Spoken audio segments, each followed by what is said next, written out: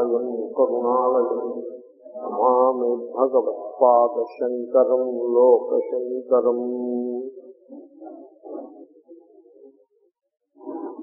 ఆత్మస్వరూప సద్భుత మనం ముప్పై తొమ్మిదవ శ్లోకం చూసుకున్నామని గుర్తున్నాము అందాము ఒకసారి. యదగ్రేచానుబంధే చ సుఖం మోహనమాత్మన. నిద్రాలస్య ప్రమాదోత్థం దత్తామసముదాహృతం మనం సుఖమును కోరుట తప్పు కాదు కానీ ఆ సుఖము సాత్విక సుఖమై ఉండాలి. రాజస తామస సుఖములను దూరంగా మనం పెట్టాల్సి సో ముప్పై తొమ్మిదవ శ్లోకం భాష్యం కూడా చెప్పాలని కదా? ఏదో కొద్దిగా చెప్పుకుంటాను నేను భాష్యం చెప్పలేదు. సరే సో ఏ సుఖమైతే ఆరంభంలో అగ్రే పరిణామంలో అంటే ఆ సుఖానుభవం పూర్తయిపోయిన తర్వాత రెండు సందర్భాలలో కూడా అది మోహమును కలిగించేదిగా ఉంటుందో అట్టి సుఖము తామస సుఖము అనబడు. చాలా సరళమైన విషయం. ఏదైతే మన బుద్ధిని నాశనం చేస్తుందో మోహనం అంటే బుద్ధిని నాశనం చేసేటువంటి సుఖం ఏదైనా కూడా తామస సుఖము అనబడుతుంది. దీనికి ఎక్స్ట్రీమ్ ఎగ్జాంపుల్స్ చెప్పాలంటే ఆల్కహాల్ మద్యమును సేవించుట మద్యమును సేవిస్తున్నప్పుడు సేవించే వాళ్ళు ఆ సేవించే సమయానికి హ్యాపీ అవర్ అని పేరు పెట్టుకున్నాను అంటే ఆ మద్యాన్ని సేవించి ఆ గంట అరగంట గంట అదే సుఖాన్ని ఇస్తుంది అనమాట ఇంకా ఇంకా సుఖం అనేది వేరే ఉండదు మిగతా జీవితం అంతా దుఃఖమే. కేవలము ఆ మద్య సమయం మద్యపాన సమయంలో మటుకే సుఖం కలుగుతుంది. అని ఆ విధమైన ఒక నిశ్చయంలో వాళ్ళు ఉంటారు తర్వాత సుఖము మద్యము నుంచి మాత్రమే ఉత్పన్నం పుడుతుంది అని కూడా నిశ్చయంలో ఉంటారు. దాన్ని బుద్ధి యొక్క మోహము సుఖం అనేది ఆత్మస్వరూపము అని తెలుసుకునే అవకాశము అతి వాళ్ళకు ఉండనే ఉండదు. ఎందుకంటే సుఖము బయట ఉండే ఒక పదార్థం నుంచి లభిస్తుంది అని మనిషి ఎప్పుడైతే అనుకుంటాడో అప్పుడే వాడి జీవితం నాశనం అయిపోతుంది. దీన్నే సబ్స్టెన్స్ అబ్యూస్ అని అంటారు. కొంతమంది మనం కనపడుతూ ఉంటారు. చాలా హెవీగా ఉంటాం. వెరీ హెవీ దీనికోసం తాగుబోతులోనూ కళ్ళు కాంపౌండ్లే కానక్కర్లా. మన ఇళ్ళలో కూడా ఉంటాం ఒకప్పుడు చాలా మడి తడిగా ఉన్నవాళ్ళు కూడా అలా ఉంటారు. చాలా హెవీగా ఉంటారు ఆ తర్వాత సుఖమన్నది కేవలము వాళ్ళకి నచ్చినటువంటి ఏ రకమైన భోజన సామగ్రి భోజనం ఉంటుందో దాని నుంచి లభిస్తుంది అని నిశ్చయం చేస్తుంది. ఒకసారి ఒక స్వామీజీ నేను కలిసి భోజనం చేస్తున్నాము. ఇడ్లీ ఫలహారం మామూలుగా ఇడ్లీతో పాటుగా చట్నీ సాంబారు కారపొడి ఇలాంటివి సామగ్రి అంతా ఉన్నది ఇవన్నీ ఇవన్నీ చాలన్నట్టుగా ఇడ్లీలపై నెయ్యి అధికంగా వేసుకుని ఒక సుమారు ఆరు లేక ఎనిమిది ఇడ్లీలు నేతిలో ముంచుకుంటున్నారా అన్నట్టుగా వాటిని స్వీకరించి చట్నీస్ తోటి వాటితోటి అప్పుడు నన్ను అడిగారు. స్వామిజీ మీరు పాఠాలు బాగా చెప్తూ ఉంటారు కదా భగవద్గీత నేను బ్రహ్మానందం అంటే మీకు ఎప్పుడైనా అనుభవానికి వచ్చిందా? అడిగితే నేను అన్నాను తమరు చెప్పండి అన్నా ఇప్పుడు ఇంకో ఈ ఇడ్లీలు ఒక ఆరు ఎనిమిది ఇడ్లీలు పుచ్చుకున్న తర్వాత వచ్చే అనుభవం అనుభవం ఏ ఆనందం అయితే అనుభవానికి వస్తుందో అదే నా బ్రహ్మానందం అంటే సరే. అంటే మనం ఆహారాన్ని సరైన పద్ధతిలో సేవించాల్సి ఉంటుంది. రాత్రిపూట తినాల్సి వస్తే రెండు లేక మూడు మహా అయితే నాలుగు ఇడ్లీలు తినాల్సి ఉంటుంది కానీ ఎనిమిది పది ఇడ్లీలు తినేయడం అది అది అది పద్ధతి కాదు. దాంట్లో సుఖం ఉందని నిశ్చయం చేసుకున్నాడంటే మరి మోహనమైనది. మోహనం ఆత్మన ఆత్మ అంటే బుద్ధి అని బుద్ధికి అది ఒక వ్యామోహమే అవుతుంది. తర్వాత నెయ్యి అనేది ఉంటే సుగంధం కోసం కొద్దిగా వేసుకోవాలి కానీ దాన్ని అధికారికంగా సేవించటం ఇది కూడా దానివల్ల మనకి ఫ్యాక్ట్లో ఒక ఒక టేస్ట్ ఫ్యాక్ట్ టేస్ట్. ఈ వంటలు వండిన వాళ్ళు కూడా ఏమో ఎందుకు అంత ఫ్యాట్ ఎందుకు ఎక్కువ వేస్తాం ఫ్యాట్ తగ్గించు అని నేను చెప్తే అతను అంటాడు మీరు సరే చెప్తారండి అందరికీ కావాలది ఫ్యాట్ ఉంటే కానీ రుచి ఉండదు మీ ఒక్కరి కోసం నేను వేరే చేస్తా తప్ప నేను జనరల్గా మీరు ఆ రూల్ పెట్టడానికి వీల్లేదు అని చెప్పాను. అందుకు ఒక వంట బ్రాహ్మణుడు. సో ఈ రకంగా ఫ్యాట్ అధికంగా తినడానికి అలవాటు పడ్డాం. అధికాధికమైన భోజనము ఇదంతా కూడా దానివల్ల లభించేటువంటి సుఖానికి ఎడిక్ట్ అవ్వటం. ఆ సుఖానికి అలవాటు పడుకోవడం దాని నుంచి అది లేకపోతే బ్రతికే లేదనే స్థితికి చేరుకోవడం. ఇదంతా కూడా తామస సుఖమునకు దృష్టాంతము. ఈ మాట ఎందుకు చెప్తున్నానంటే తామస సుఖం అంటే ఆల్కహాల్ సేవించడం మాత్రమే అని మీరు అనుకోవచ్చు సుమాండి. సో అధికమైన కార్బోహైడ్రేట్లని భుజించుట పౌష్టికాహారం తినడం కాకుండా కార్బోహైడ్రేట్ని అధికంగా భుజించడం కూడా తామసాహారంలోకి వస్తుంది. తర్వాత అంటే ఒక మాటలో చెప్పాలంటే ఏ పదార్థములు తినుటకు త్రాగుటకు యోగ్యము కావో వాటిని త్రాగుట. సుఖము కొరకు. అది తామస సుఖము.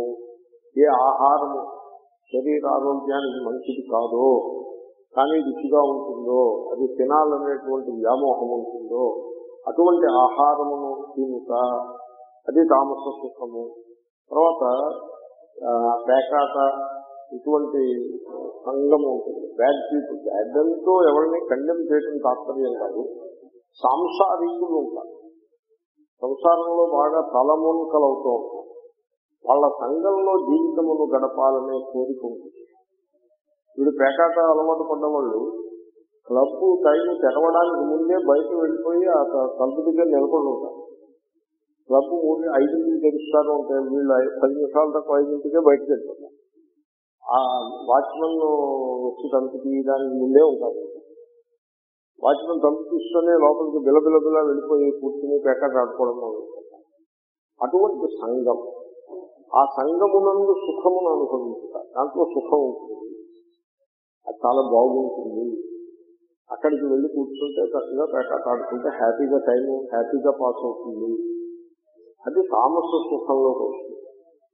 అలాగే ఈ మధ్య కాలంలో ఈ తామస సుఖాన్ని బాగా ప్రమోట్ చేస్తున్నారు. ప్రపంచమంతా ప్రమోట్ అవుతూ ఉంటుంది. మన దేశంలో కూడా ప్రమోట్ ప్రారంభమైంది ఆ, క్రూజ్ క్రూజ్ షిప్స్ ఉంటాయి. అది మనం ధనాన్ని పే చేసి టికెట్ కొనుక్కుని ఆ షిప్లో ప్రవేశించినట్లయితే అది సముద్రం మీదకి పోతుంది. ఇది భూమండలంతో భూమితో సంబంధం సముద్రంలో ఉంటుంది. వన్ వీక్ అక్కడ సముద్రమే. ఇంకా భూమికి రాదు. వన్ వీక్ తర్వాతే వస్తుంది. ఈ మధ్య కాలంలో ట్వంటీ ఫోర్ సెవెన్. మీరు ఎప్పుడు ఏది తినాలన్నా తినొచ్చు ఏది తాగాలన్నా కూడా తాగొచ్చు. తర్వాత ఎయిర్ కండిషన్ రూమ్లో పడుకుని నిద్రపోవచ్చు. కాబట్టి నిద్రపోవడం తినడం తాగడం ఈ అల్లరి మోకుంటుంది అంటే పిక్నిక్ కైండ్ ఆఫ్ మూక. ఆ మూకతో కలిసి కేరింతాలు కొట్టడం జంతులు వేయడం ఇది సుఖము. ఈ అంశములన్నింటిలోనూ సుఖము గలదు. అంటే తినుట త్రాగుట సంగము. స్నేహము. వీటన్నింటిలో కూడా సుఖము గలదు అని అనుకుంటారు. ఆ విధంగా సుఖాన్ని సంపాదించి ఆస్వాదిస్తూ ఉంటారు. అదంతా కూడా తామస సుఖము అనే కేటగిరీలోకి వస్తూ ఉంటుంది. ఎందుకంటే ఈ సుఖము ఆరంభంలో మనిషి బుద్ధికి విన బుద్ధికి వ్యామోహాన్ని కలిగిస్తుంది. అంతమునందు కూడా ఆ ఎడిక్షన్ అనే లక్షణం ఏర్పడి హ్యాబిట్ ఫార్మింగ్ అనేది ఏర్పడి అంతమునందు కూడా అది చాలా చెడు పరిణామములకు దానికి చాలా చెడ్డ పరిణామాలు దానివల్ల వస్తాయి. కాబట్టి ఉదాహరణకి మీరు అధికాధికంగా అనారోగ్యకరమైన ఆహారాన్ని మితంగా కాకుండా అధికంగా భోజనం చేసుకుంటూ పోయారనుకోండి ఆ సుఖాన్ని ఆస్వాదించుకుంటూ పోయినట్లయితే దాని వలన కలిగే పరిణామములు చాలా చెడ్డ పరిణామాలు. తర్వాత కాలంలో మధ్య వయస్సులోనే పెద్ద వయస్సు వచ్చేస్తుంది మధ్య వయస్సులోనే ముసలి వాళ్ళు అయిపోతారు. ఇంకా ముసలిధనానికి పదేళ్ళు సమయం ఉందనగానే వీరికి ముసలిధనం వ్యవహారం అంతా వచ్చేస్తుంది. మందులు మాపులు ముందుతో బ్రతుకుని ఏడ్చవలసి వస్తుంది.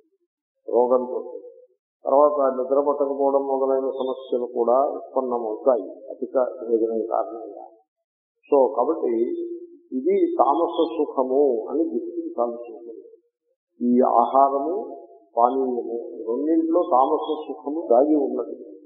కాబట్టి ఆ రెండింటి ఎడల తగినంత హెచ్చరికతో మనం ఉండాలి. తర్వాత మనం స్నేహం ఎవరితో చేస్తున్నాము?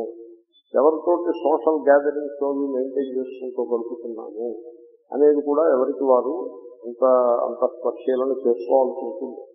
ఆ సంఘము కనుక సరైనది కాకపోయినట్లయితే అటువంటి సంగమునందు మీకు సుఖము అనుభవానికి వస్తూ ఒక ఆకర్షణ ఆ సంగమునందు మీకు ఏర్పడి ఉన్నది అంటే మీరు తామస సుఖంలో పడిపోయారని అది కూడా ఆరంభంలోనూ అంతమునందు కూడా చాలా హానిని కలిగిస్తుంది. తర్వాత ఇతర ప్రాణుల మనుషులతో సహా హింసించటము చంపడము తద్వారా సుఖము అనుభవానికి వచ్చినట్లయితే అది తామస సుఖం అనబడును ఇతరుల సొత్తును అపహరించడం ద్వారా మీకు సుఖం అనుభవానికి వచ్చినట్లయితే అది తామస సుఖం అనబడుతుంది తర్వాత ఎవరైనా మిమ్మల్ని పొగుడుతూ ఉంటే విని సంతోషించాలి. అది కనుక అలవాటు అయిందంటే కొంతమంది అలా ఉంటారు. కొంతమంది అలా ఉంటారు. ఆ స్థితి ఎక్కడికి వెళ్ళిపోతుందంటే ఏదైనా సభా కార్యక్రమం లాంటిది పది మంది కలిసిన చోట ఉన్నప్పుడు ఎవరో ఒకళ్ళు వెళ్ళి పొగుడుతూ ఉంటారు. వారిని పొగుడుతూ ఉంటారు. వారు ఆ పొగడ్డమిని సంతృప్తిస్తారు. ఆ రోజు ఎవళ్ళు పొగడలేదనుకోండి వాళ్ళు చాలా నిరుత్సాహపడిపోయి చాలా ఇబ్బంది పడిపోయి చాలా చికాకు పడిపోతారు. తర్వాత శిష్యుల మీద కోప్పడతారు కూడా. ఏ నువ్వు మాట్లాడద్దా? ఆ సందర్భంలో నా గురించి నాలుగు మాటలు చెప్పద్దు.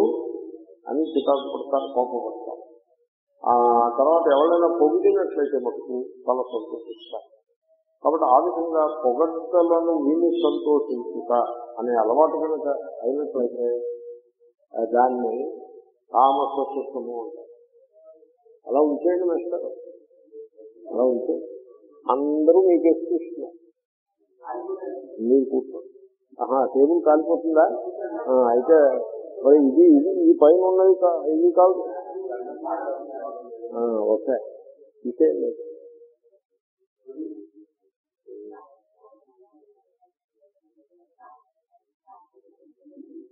నేను ఎందుకు ఆపానంటే ఓ కన్ను మీ వైపు ఓ కన్ను నా వైపు వేసి వింటున్నారు అందరూ. అందుకోసం. ఏం పర్వాలేదు కానీ.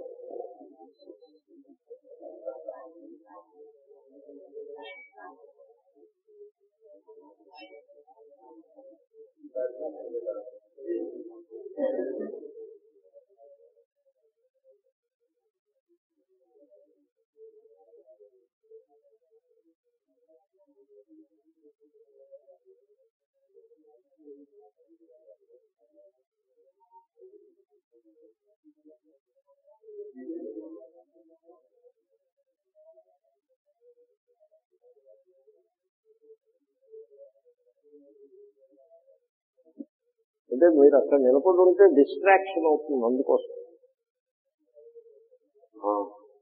ఇక్కడ పెట్టేసి మీరు వచ్చి అక్కడ కూర్చుంటే నేను కొనసాగిస్తాను కాబట్టి తన పొగడ్తను విని సంతోషపడడానికి కనుక అభ్యాసం అయిపోతే ఆ పొగడ్త లేకపోతే అప్పుడు భోజనం లేకపోయినా ఉండగలుగుతారు కానీ పొగడ్త లేకపోతే దుఃఖాన్ని పొందుతారు.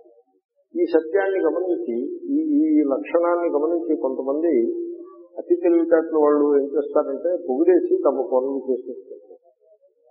ఇలాంటి సందర్భాలు కొన్ని కనబడతాయి ఆ విధంగా పొగట్ట చేసినప్పుడు మంచి సుఖానుభవం పొందుతూ ఉంటారు వాళ్ళు. అది తామస సుఖంలోకి వస్తుంది.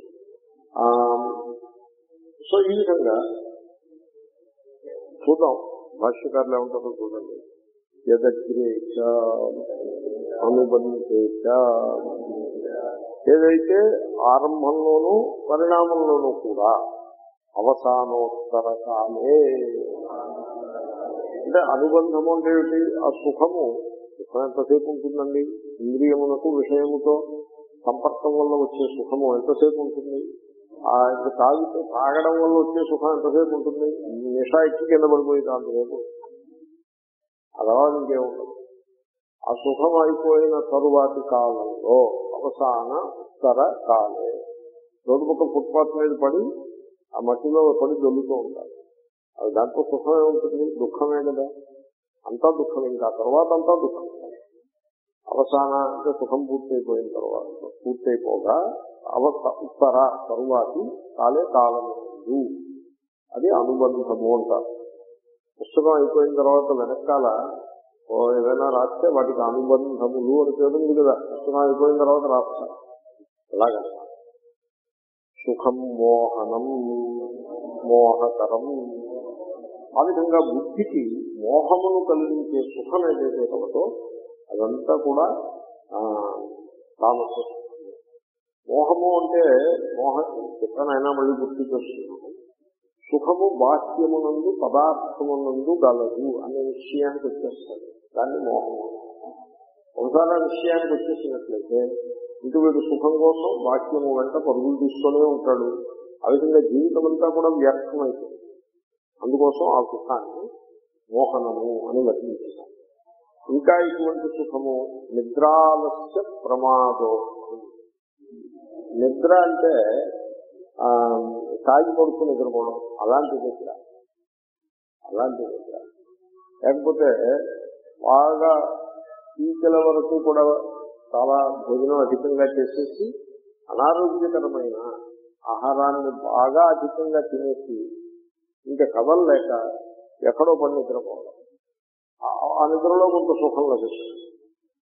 అటువంటి సుఖములకు అలవాటు పడినట్లయితే అది కూడా తామస సుఖం అనే అనుభవం ఆ నిద్ర అనే మాట చూసి నేను నిద్రపోవడం మానేయకండి సుమా అదిగా నిద్రపో. ఎందుకంటే సైన్స్ ప్రకారం కూడా ఎనిమిది గంటలు నిద్ర ఏడు నుంచి ఎనిమిది గంటలు నిద్ర ఆవశ్యకము అని సైంటిస్టులు పరిశీలన పరిశోధనలు చేసి మనకి చెప్తూ ఉన్నారు. అయితే మనిషి నిద్రపోయే సమయం అంత ఉండదు. మీరు ఎలా లెక్క వేసుకున్నా? పొగలు ఏదైనా వరగంట సేపు న్యాప్ తీసుకున్నప్పుడు అది కూడా కౌంట్ చేసుకున్నా కూడా మీకు ఏడు గంటలు దాకా ఏడు గంటలు దాటడమే కష్టం. పెద్ద వయస్సులో నిద్ర ఎక్కువ ఉండదు. కాబట్టి నిద్ర విషయంలో ఆ వాక్యాన్ని అడ్డుపెట్టుకుని మీరు నిద్రపోవడం మాత్రం మానేయకండి. హైగా నిద్రపోవడం నిద్ర పట్టినప్పుడు నిద్రపోండి. అది పట్టడం మానేస్తే ఇంక చేసి చేయండి. ఆ తర్వాత కొంతమంది మేము నాలుగింటికే లేచేసి జపం చేయడానికి అలవాటు పడ్డాము అని ఇలాంటివి ఏవో చేదస్తాలు పెట్టుకుని నిద్ర చెడగొట్టుకుంటారు. నేను నాలుగింటికి లేచి స్నానం చేసి జపాన్ని కూర్చుంటే మాల ఒడిలో వేసుకుని నిద్రపోతూ ఉంటాను పొగలంతా డల్గా ఉంటాయి మనస్సు చాలా నీరసంగా ఆ, సునిశ్చితత్వమును కోల్పోయి ఇలాంటిగా తయారు దానివల్ల ఉపయోగం ఏమున్నది? కాబట్టి అటువంటి నిద్ర సోమరిపోతుల నిద్ర సోమరిపోతుల నిద్ర అది మంచిది కాదు. అది తామస సుఖానికి అలవాటు పడుతుంది. ఆ చిన్నప్పుడు కథ వినేవాళ్ళం. మహారాజు గారు తన సామ్రాజ్యంలో సోమరిపోతులకి ఫస్ట్ ప్లేస్ ఉన్న సోమరిపోతుకి నేను బహుమానం ఇస్తాను అని ప్రకటిస్తాను అవి ఎవరో కనుక్కోమంటాడు మంత్రి గారు అప్పుడు మంత్రి గారు ఒక చౌట్రీ ఒకటి ఏర్పాటు చేసి సోమరిపోతులందరినీ ఆహ్వానిస్తారు. అక్కడ మీరు ఉండండి అక్కడ మీకు భోజన వ్యవస్థకి మేము ఏర్పాటు చేస్తున్నాము అని అందరినీ ఆహ్వానిస్తారు. ఇన్ని సోమరిపోతులందరూ అక్కడ ఉండి కడుపు నిండా భోజనం చేస్తూ ఆ నడుము వాళ్ళకి నిద్రపోతూ విశ్రాంతిగా ఉంటూ ఉంటారు. ఇప్పుడు ఆ మంత్రి గారు ఆ చౌదరికి నిప్పు పెడతారు. ఫైర్ అప్పుడు నిప్పుని చూసి అమ్మో ఈ ఇల్లు తగలబడుతోంది? ఈ సత్రం తగలబడుతోంది అని చాలా మంది పారిపోతారు వాళ్ళు సోమరులు కాదు. ఇంకో కొంతమంది అటు తగలబడుతోంది కదా ఆ మంటలు ఇటు వచ్చినప్పుడు పరిగెడతాం అలా ఇప్పుడు కంగారే. నేను ఇటువైపు దొరికి పడుకుని ఉంటాను వాళ్ళు సోమరులలో లెక్కకు వస్తారు. వాళ్ళలో కూడా చెత్త దిగురు దాకా ఇంకా తగల పూర్తిగా తగలపోయి తగలబడిపోయే వరకు లేవకుండా అక్కడే పడుకొని దిగుతూ ఉంటాడు. వాడు ప్రపంచ సోమరిపోతులలో అగ్రగణ్యుడిగా వాడికి బహుమానం ఇస్తారు. వాడిని రక్షిస్తారు. సో అలాగంటే కథ ఒకటి వాళ్ళు కాబట్టి అలాగంటే సోమరి కోతులు సోమరిపోతులు సోమరిపోతు సోమరిధనానికి నిద్రకి ఏదో ఒక అవినాభావ సంబంధం ఉన్నట్టు ఉన్నది. అటు అటువంటి నిద్ర సోమరిధనమునకు ప్రతీకగా ఉండే నిద్ర మటుకే తమోగుణము అనబడుతుంది. మామూలుగా మనం నిద్రపోయే నిద్ర అది తమోగుణంలోకి రాదు అది ఒకటి గమనించగలరు. తర్వాత ఆలస్య ఆలస్య అంటే ఏం రాసింది తెలుగులో? ఆలస్యము అంటే కర్తవ్య విముఖ. కర్తవ్య విముఖుడై ఉందా ఆలస్యం అంటే మన తెలుగు ఆలస్యం కాదు. తెలుగులో ఆలస్యం అంటే డిలే. అది సంస్కృతంలో డిలే కాదు. కర్తవ్యములు అది అది ప్రమాద శబ్దానికి అర్థం. ఆలస్యం అంటే సోమరిధనము అని ఆలస్యం అంటే సోమరిధనము అని అర్థం. ఆలస్యం అంటే తెలుగు ఆలస్యం కాదు. తెలుగు ఆలస్యం అంటే అర్థం ఏంటి ఆరు గంటలకి క్లాస్ ఆరు ఆరు గంటల క్లాస్ అయితే ఆరు పావుకు రావడం దాన్ని తెలుగులో ఆలస్యం. సంస్కృతంలో అలా అన్నారు. సంస్కృతంలో డిలే ఇంగ్లీష్లో డిలే అంటారే దాన్ని సంస్కృతంలో విలంబము అన్నారు. ఆలస్యం అని అంటాం సంస్కృత పదములు తెలుగులోకి వచ్చినప్పుడు అర్థం మార్చుకుని వస్తూ ఉంటాయి కొన్ని సందర్భాల్లో. దాంట్లో ఒకటి ఆలస్యము రెండవది ప్రమాదము ప్రమాదం అంటే కారు ఏదో యాక్సిడెంట్ అయితే దాన్ని ప్రమాదం అంటారు తెలుగులో. అది సంస్కృతంలో అది కాదు ప్రమాదం. ఆలస్యము అంటే పని ఎందు రసము లేకుండా. లాని రా రస. రస అంటే ప్రీతి. దేని ఎందు ప్రీతి? చదువు పని. అదే బుద్ధికి చదువు. ప్రాణశక్తికి పని. ఈ రెండింటి ప్రీతి లేకుండా ఆ రస ఆ రస రసము లేకుండా ఆ రస. దాని దాని భావము ఆలస్య రాకి లా వస్తుందంటే రలయో రభేద రాకి లాంటి తేడా ఏమీ లేదు రెండో ఓకే? సో కాబట్టి పని చదువు మీద ప్రీతి లేకుండా పని మీద ప్రీతి లేకుండా ఇప్పుడు మనం ఇళ్ళలో చూస్తూ ఉంటాము ఆ ఏదైనా మంచి పుస్తకం చదవడం ఈ పిచ్చి పిచ్చి కథల పుస్తకాలు చదువుకుంటూ కూర్చుంటాం తర్వాత లేకపోతే ఈ స్మార్ట్ ఫోన్ చూసుకుంటూ కూర్చుంటాం చక్కటి పుస్తక పఠనము అనేది ఉండదు. బుద్ధికి మంచి గంభీరమైన విషయమును చదివి తెలుసుకుంటా అనే అలవాటు తప్పిపోతుంది. వాడేమో డిటెక్టివ్ నవలు లేకపోతే కథలు న్యూస్ పేపర్లు చదవటానికి పనికొస్తుందే తప్ప బుద్ధి. గంభీరమైనటువంటి విషయములు. ఫిలాసఫీ మ్యాథమెటిక్స్ మొదలైన లోతైన ఆలోచింపజేసే విషయముల వైపు బుద్ధి వెళ్ళదు బుద్ధికి వెగటు పుడుతుంది వాటిపై అటువంటి బుద్ధి యొక్క స్థితికి ఆలస్యము అని పేరు. అది వాడికి కఠినమైనది చదివితే దుఃఖం అనిపిస్తుంది. చదవడం మానేసి బుద్ధికి పని చెప్పకుండా పడు ఉంటే సుఖం అనుకోవాలి అటువంటి సుఖమును తామస సుఖము అని అంటారు. సుఖం గురించి మాట్లాడుతున్నాం కదా మనం. తామసం సుఖం. తర్వాత ఈ ప్రమాదము అంటే కర్తవ్యమును విస్మరించి కూర్చుంటుంట దాంట్లో అలా చెప్పడానికి హేతులు ఏమిటంటే మద మద కలదు. మాద ప్రా అనే ఉపసర్గం ఉంటుంది మద అనే కాదు మద అంటే మత్తు అని తెలుగులో అంటారే అది మద. కాబట్టి ప్రమాదంలో కూర్చుంటుట ఎందుకు అండము? అంటే అలా మత్తుగా పడు ఉంటాడు కర్తవ్యాన్ని విస్మరిస్తాడు మత్తుగా పడు ఉంటాడు దాన్ని ప్రమాదము అని అంటారు. నేను ఒక ఆయన ఎరుగుతాను ఆయన భార్య ఇద్దరు పిల్లలతోటి బస్సు స్టాండ్కి వెళ్ళాడు బస్సు సాయంకాలం ఆరు గంటలు. ఐదు అయ్యేప్పటికి బస్సు స్టాండ్కి చేరుకున్నారు. అప్పట్లో కొంచెం ముందు పోయేవారు కదా. ఆ బస్సు వచ్చినప్పుడు ఎక్కి వెళ్ళాలి. అది తెల్లవారులు వెళ్ళే బస్సు ఆర్టీసీ బస్సు. బస్సు ఈ భార్య పిల్లల్ని బస్సు స్టాండ్లో కూర్చోబెట్టారు కూర్చోబెట్టి నేను ఇప్పుడే వస్తాను అంటే భార్య ఎంతోనే ఉంది ఎక్కడికి వెళ్తారు? బస్సు టైం అవుతుంది కదా అంటే ఇంకా టైం ఉందిగా? ఆరు కదా బస్సు ఇప్పుడు ఐదున్నరే కదా అవుతా ఇప్పుడే వచ్చేస్తాను నేను. అని వెళ్తాడు ఆమె వద్దని అంటున్నా వినిపించుకోకుండా వెళ్తాడు వెళ్ళి అక్కడ ఏదో బార్లో ఏదో ఉంటాయి దాంట్లో కూడి తాగుతో కూర్చుంటాడు దాంట్లో మర్చిపోతుంది తాగుడు మైకంలో పడి మర్చిపోతుంది ఆ బారు చూసేసినప్పుడు ఆ బారు అక్కడ ఉండే రౌడీలు వాళ్ళు ఉంటారు కదా ఆ బారు వర్కర్స్ వాళ్ళు వీళ్ళని తీసుకుని బయటకు తింటే వాళ్ళు తలుపులు వేసేసి వాళ్ళు చెప్పండి ఇది బయట ఆ ఫుట్పాత్ మీద పళ్ళు మొన్నటి పొద్దున తెలుసు తెలిస్తే అప్పుడు గుర్తుకొస్తుంది. ఫస్ట్ వచ్చి మనం ఊరు వెళ్ళాలి కదా. అప్పుడు గుర్తుకొస్తుంది. అప్పుడు భార్యా పిల్లలతో మనం బస్సు స్టాండ్ కదా వచ్చాం అని గుర్తుకొచ్చి లేచి ముందుకు వస్తే అక్కడే ఉంటుంది బస్సు స్టాండ్. ఈ బస్సు స్టాండ్ కొద్ది దూరంలో పడున్నాడు అప్పుడు ఏమిటబ్బా అని ఇంటికి వచ్చి చూస్తే భార్యా పిల్లలు ఇంటి దగ్గర అంటే వాళ్ళు ఆ బస్సు ఎక్కడ మన వీళ్ళు లేడుగా? బస్సు ఎక్కకుండా ఏదో ఆటోలో రిక్షా చేసుకుని ఇంటికి వెళ్ళిపోయారు దీన్ని ప్రమాదము అంటారు. వాడి కర్తవ్య కర్మ కదా. భార్యతో కలిసి బస్సులో ప్రయాణం చేసి వాళ్ళని ఎదురు తీసుకెళ్ళడం వీడి కర్తవ్య కర్మ. దానిని విస్మరించి కూర్చుండిపోయింది తాగుడు కాదు ఒకప్పుడు తాగుడు కాకపోవచ్చు. ప్యాకాట్లో కూర్చుని విస్మరించి కూర్చుండిపోతారు.